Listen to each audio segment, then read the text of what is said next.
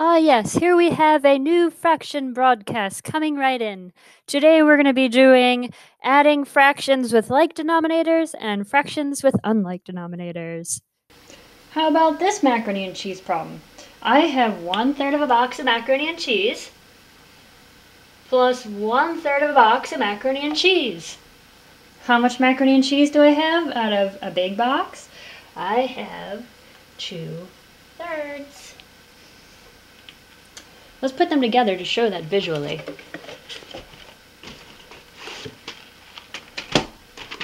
Two thirds. Check that out. You can also see that two thirds is also equivalent to eight twelfths. Eight out of twelve boxes. Pretty neat. Alright, so right here I have two boxes of macaroni and cheese, and they're rep going to represent an addition problem. So in my first box of macaroni and cheese here, I have one third. So one third box of macaroni and cheese.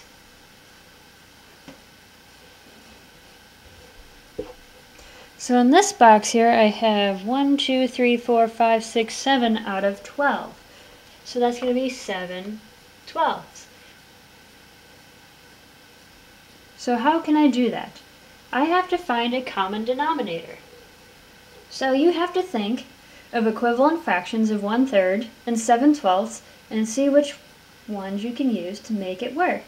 So let's see here. I know that if I multiplied 3 by 4, I could get to 12. So why don't I do that? Let's do 1 times 4, and I'm just going to put this new fraction down here, is 4, and 3 times 4 is 12. So I have 4 twelfths plus 7 twelfths. And then I have 11 twelfths. Should I check my work with my real world problem? I can do that.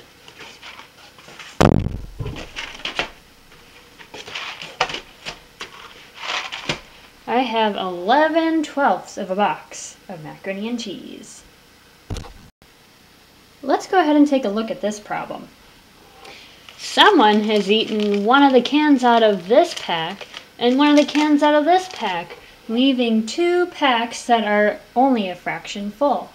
I have 3 fourths of this pack plus 3 fourths of this pack.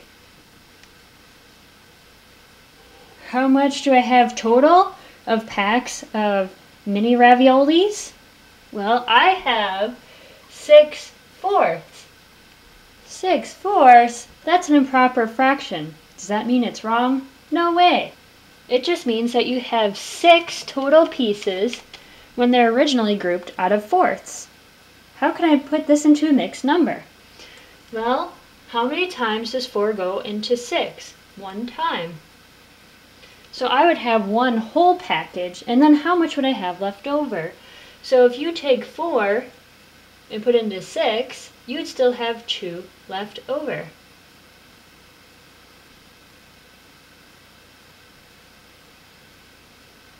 Let's double check our work.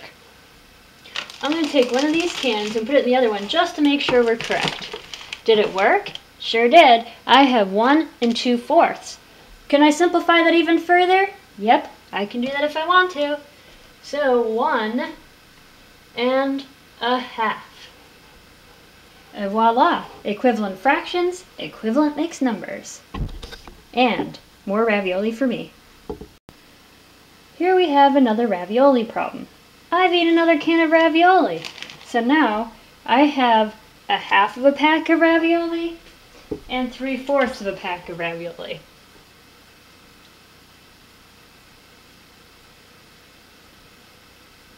Much ravioli do I have left? Well, it's important to go ahead and turn our fractions into equivalent fractions so they have common denominators. And figure out which way it makes sense to do that. Would it be easier to go ahead and multiply up to get to the 4, or to reduce it, divide by 2, and get to the 2? 4 divided by 2 is 2, but 3 divided by 2 gets the messy number of 1 and a half. That's not going to do. So let's go ahead and take this half, multiply the top number by 2 and the bottom number by 2. So 1 times 2 is 2, and 2 times 2 is 4. So 1 half is the same as 2 fourths. You could even done that mentally. Alright, so 2 fourths plus 3 fourths is equal to 5 fourths. Full can How many full packs do I have ravioli? Well, 4 could go into 5 one time, and then what do we have left? We only have one of those fourths left. Let's double check our work. There we are, one full pack and one can left. One and one fourth is the answer. Okay, so let's take a look at this problem. I have 6 fifteenths and 5 twentieths. What I want to do is to go ahead and change them into equivalent fractions to where they have a common denominator. To do this, I'm going to go ahead and list the multiples of each denominator, starting with 15. So I'm going to go ahead and count by 15s for a while. 15, 30, 45, 60, Okay, and now I'm going to take my multiples of 20. So we're going to start off with 20, then 40, then 60. Do you see an opportunity to make a common denominator? I do. The least common multiple would be 60. I could have continued, we could have used a larger number, but that's just not necessary. You're going to keep going until you find a common multiple. So I can turn these fractions into equivalent fractions with the common denominator of 60. What did I multiply 15 by to get to 60? 1, 2, 3, 4. So 15 times 4 is equal to 60.